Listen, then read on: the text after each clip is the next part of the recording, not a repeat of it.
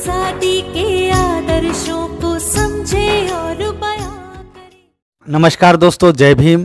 मैं सुरेश पासवान, आप सभी का स्वागत करता हूँ हम भारत के लोग एपिसोड में। दोस्तों, इस एपिसोड का शीर्षक आज बहुत ही महत्वपूर्ण है।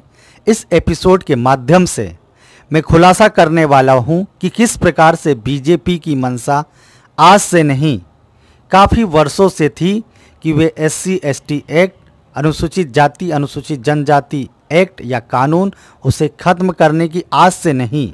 ये इनकी बहुत पुरानी, बहुत वर्षों पूर्व एक ऐसी साजिश थी और ये करना चाहते थे। इसका मैं सबूत दूँगा, लेकिन उसके पहले आप एपिसोड देखें, उसके पहले आप सभी से निवेदन है। यदि आपने हमारे चैनल को सब्सक्राइब नहीं किया है तो अभी सब्सक्राइब कर लीजिए और घंटी जो बटन है जो घंटी का जो आइकॉन आप देख रहे हैं बेल आइकॉन उसे आप क्लिक करें ताकि जो भी वीडियो मैं अपलोड करूँ, वे सारे के सारे वीडियो आपको उसका नोटिफिकेशन समय समय पे मिल जाएगा। और वीडियो को आप लाइक करना ना भूलें, यदि पसंद आए। यदि पसंद ना आए तो कमेंट करिए दोस्तों। आप अपने सुझाव दीजिए कि इसमें क्या कमी रह गई।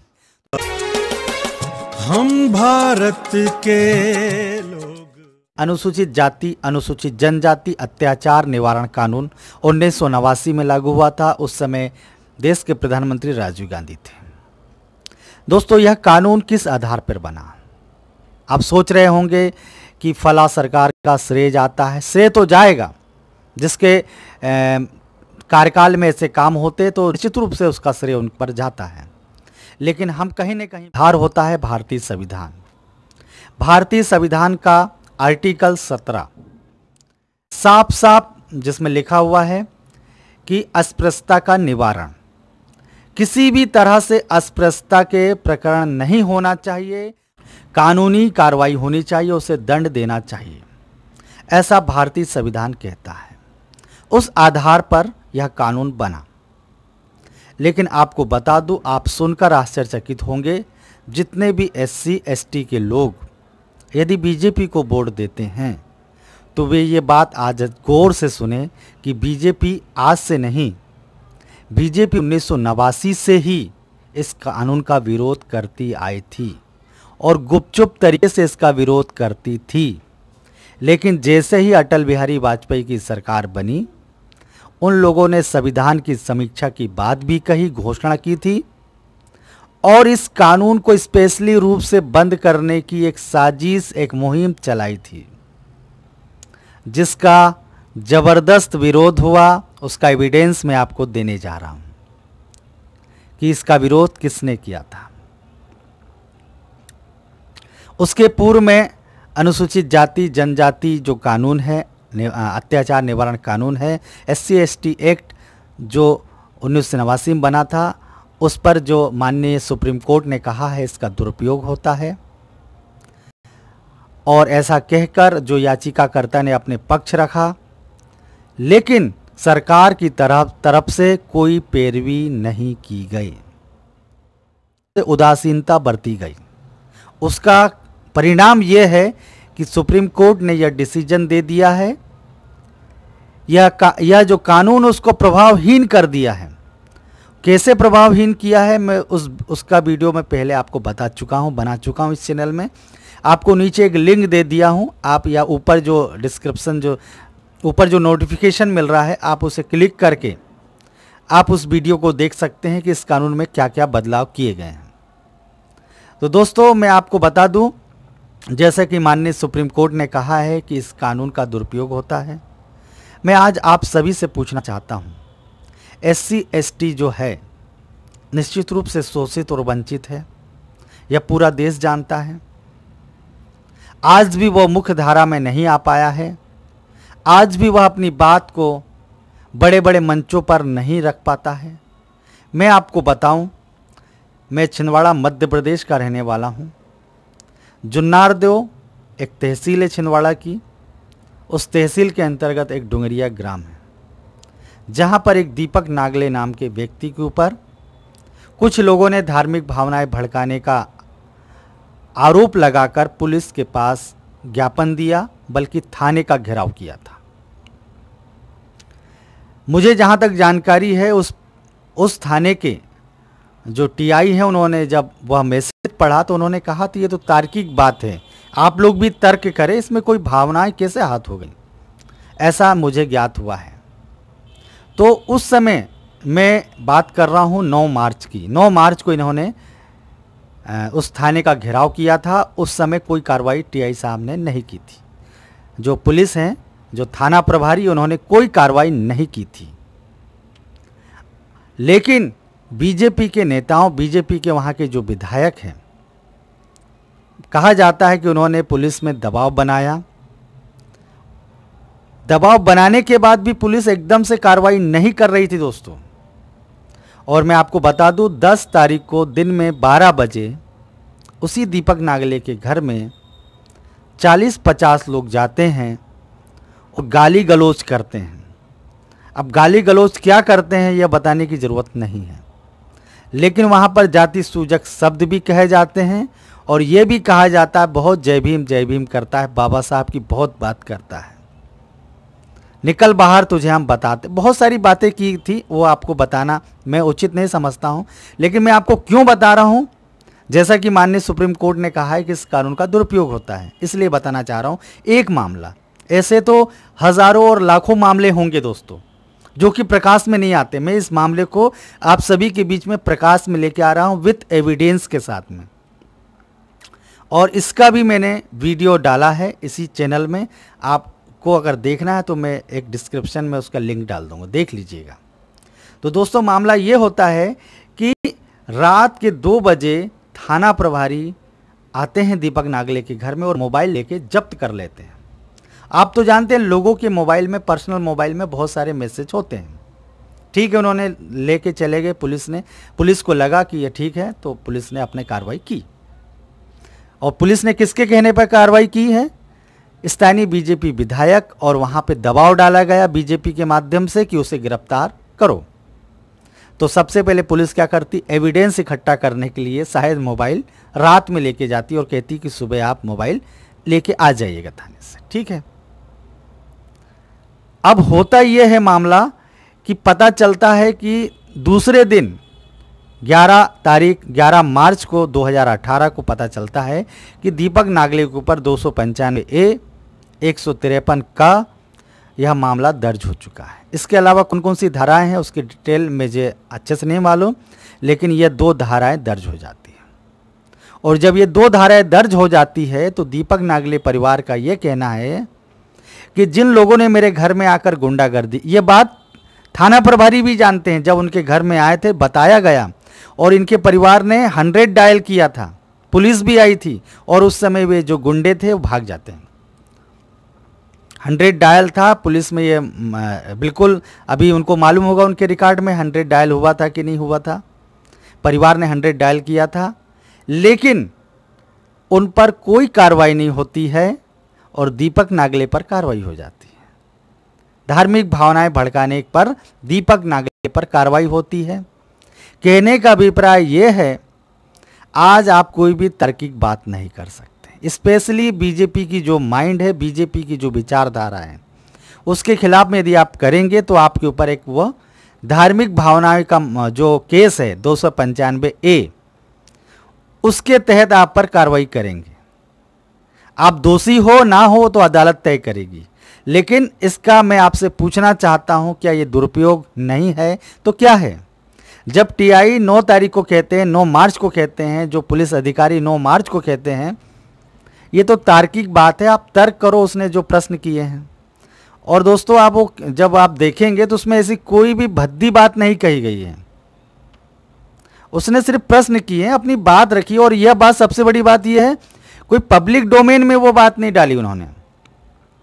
उन्होंने सिर्फ़ अपने एस सी एस टी वर्ग को जागरूक करने के लिए उनके बीच में ये बात शेयर की है, और भावना किसकी हाथ हुई? कोई राजपूत परिवार के एक युवक की, किसी मिश्रा की जिसे वो मैसेज नहीं दिया गया, उसकी भावनाएँ वहाँ से क्यों हाथ हो गई? क्यों किसी के ग्रुप में कोई ताक झाक करता है? क्यों किसी की प्रवासी जो व्यक्तिगत जो मामले उस पर कोई क्यों दखल करता है? मेरे घर में मैं क्या कर रहा हूँ? शांतिपूर्वक से हम आपस में बात कर रहे हैं। कोई व्यक्ति बाहर से आके क्यों छुप के हमारी बात सुनेगा? बहुत सारी बातें हैं दोस्तों, मैं उस पर नहीं जाना चाहता हूँ, लेकिन मैं आपको यह बताना चाहता हूँ, उस व्यक्ति के ऊपर धार्मिक भावनाएँ आहत करने का आरोप लगाकर केस दर्ज कर दिया गया। लेकिन, अब जो आगे की बात बता रहा वो गौर से सुनिएगा। फिर दीपक नागले पर जब कार्रवाई होती है, परिवार आहत होता है और उनके जितने भी सम, जो जानने वाले लोग हैं, उनको भी लगता है कि ये दीपक नागले के ऊपर एक तरफा कार्रवाई हुई। तो छिंदवाड़ा ज़िले के ही नहीं, बल्कि आसपास बैतूल, सारणी, राकेश महाले एक सामाजिक कार्यकर्ता, वहाँ कृष्णकांत चौरासे हैं। ऐसे काफ़ी जो युवा कार्यकर्ता हैं, हम भी यहाँ से सोसर जो छिंदवाड़ा में है, छिंदवाड़ा ज़िले से करीब करीब 200-150 आदमी वहाँ पर थाने में जाते हैं और पुलिस से निवेदन करते हैं कि आप भी उन पर कार्रवाई करें जो उनके घर में जाकर गुंडागर्दी किए थे, जिन्होंने जाति सूचक मामले उछाले थे और बहुत बाबा साहब का नाम लेता संविधान को जिन लोगों ने गाली दी थी, बाबा साहब का अपमान किया था, उन पर आप भी एफआईआर दर्ज कीजिए। और काय पे एफआईआर, किस धारा के तहत कीजिए? जब भी कोई अपमानित के जाति सूचक के नाम से भारतीय संविधान कहता है, उस पर दंडनीय कार्रवाई होनी चाहिए। कठोर कानूनी कार्रवाई होनी चाहिए और एट्रोसिटी एक्ट भी यही कहता है। आपको मैं बता दूँ, अभी तक उन पर कोई कार्रवाई नहीं। क्या इस मामले का हमने दुरुपयोग किया है? यदि दोस्तों किसी भी कानून का दुरुपयोग होता है तो उसमें मैं मानता हूँ कि पुलिस दोषी होती है। पुलिस पुलिस कार्रवाई एक तरफा या पक्षपातपूर्ण क्यों करती है? दबाव में आकर क्यों करती है? यह माननीय न्यायालय को पूछना चाहिए पुलिस से। पुलिस विभाग से पूछना चाहिए। तो दोस्तों, आपको बता दूँ, उन पर कोई कार्रवाई नहीं हुई। जहाँ 200 लोग जाकर थाने में जाकर घेराव करते हैं, थाने में ज़्यादा लोग थाने में जाते हैं, अपनी बात करते हैं, पुलिस से रिक्वेस्ट करते हैं, लेकिन एफआईआर दर्ज नहीं होती, एट्रोसिटी एक्ट दर्ज नहीं होती। उस समय सुप्रीम कोर्ट का जो अभी बदलाव आया तो उस समय आया भी नहीं था। तो आप ये बताइए कि देश के अंदर में कितने गरीब हैं, कितने अशिक्षित लोग हैं, उनके साथ आए दिन मीडिया जिन्हें दबंग कहता है, जिन सवर्णों को जो जातिवादी मानसिकता रखता है, पेपर में खबर आती, दबंगों ने अत्याचार किया। वो तथाकथित जातिवादी, आतंकवादी जो गाँव में रहते हैं, जहाँ पर अशिक्षित लोग रहते हैं, जो अपने अधिकारों को नहीं जानते हैं, जो कहीं ना कहीं उनके दबाव में रहते हैं। आप मुझे ये बताइए, क्या ऐसे लोगों का मामला दर्ज होता होगा? जो कि छिंदवाड़ा ज़िले में, जहाँ पे सभी पढ़े लिखे, शिक्षित वर्ग है, वो कोल माइंस का एरिया है वहाँ पर 200 से ज़्यादा लोग जाते हैं और पुलिस से निवेदन करते हैं, उसके बाद भी कार्रवाई नहीं होती है। तो क्या आप मुझे ये बताइए, देश के अंदर में 80 प्रतिशत लोग बिल्कुल, आप जानते हैं, गाँव में निवास करते हैं और अशिक्षित बहुत सारे लोग हैं जो अपने अधिकारों को नहीं जानते हैं तो क्या वे अपनी बात थानों में जाकर अच्छे से कर सकते हैं क्या? आप खुद सोचिए। आज भी इस देश के अंदर में दो कानून चल रहे हैं दोस्तों, अघोषित रूप से। तुम फर्जीवाड़ा करो, देश का धन लूटो और देश को बर्बाद कर दो, भ्रष्टाचार करो और विदेश भाग जाओ। तब किस कानून का उपयोग करते हुए ऐसे फर्जीवाड़ा करने वालों को, देश को लूटने वालों को, देश की सरकारें, देश की पुलिस, देश का न्यायालय उन पर कार्रवाई करता है? वो तो भाग जाए। कैसे भाग गए? इतनी सुरक्षा एजेंसियाँ होने के बावजूद भी कैसे भाग जाते हैं ये लोग? ये कौन से कानून का उपयोग हो रहा है? ये सवाल उठेगा कि नहीं उठेगा?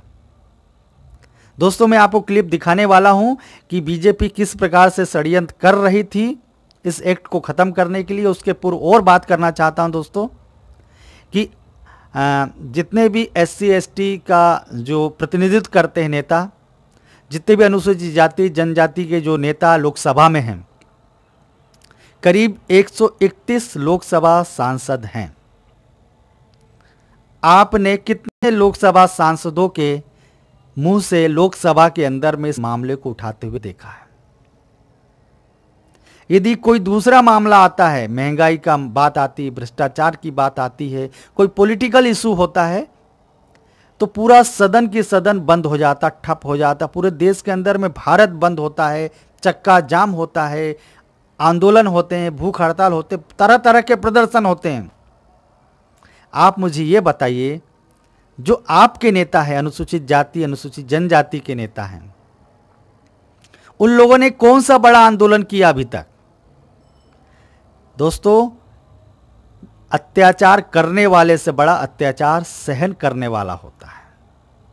और आप पर आज अत्याचार हो रहा है, आज आपके अधिकार खत्म हो रहे हैं, आपका आरक्षण खत्म किया जा रहा है, संविधान को गाली दी जा रही है, संविधान बदलकर मनुस्मृति लागू करने की बात हो रही है। वो भी किसके द्वारा? जो संविधान की शपथ लेते हैं।